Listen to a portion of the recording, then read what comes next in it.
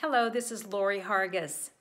And today a client called me about her seasonal allergies and she's like, Lorrie, I am having such a difficult time right now. My sinuses are either blocked or they're I'm constantly sneezing.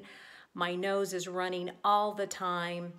You know, it's one way or the other. It's either running or it's blocked. And she's I've really noticed it too because she says I have allergies to mold and I live by a forest. And she's been raining a lot. And with all the leaves falling and then the rain, it's made a lot of mold. And then afterwards, that all goes into the air, right?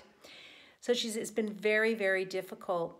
So I explained to her that you can use peppermint essential oil for inflammation because it, it, it goes in and has a chemical constituent called menthol in it.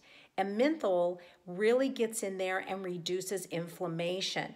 And she says, Well, how do I use it? And I said, Well, what you can do is you can put five drops of peppermint in a bowl of hot water, take a towel, drape it over the back of your head, make like a little tent, and then breathe in the vapors of the peppermint coming through the hot water.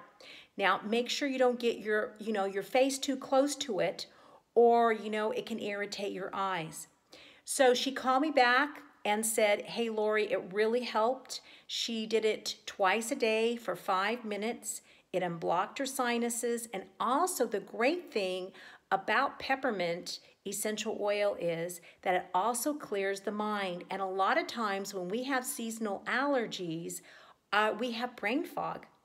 So this really helped her a lot. So I hope this will help you with your seasonal allergies. Remember, peppermint reduces inflammation in the nose, the sinuses, and it really can help you with seasonal allergies.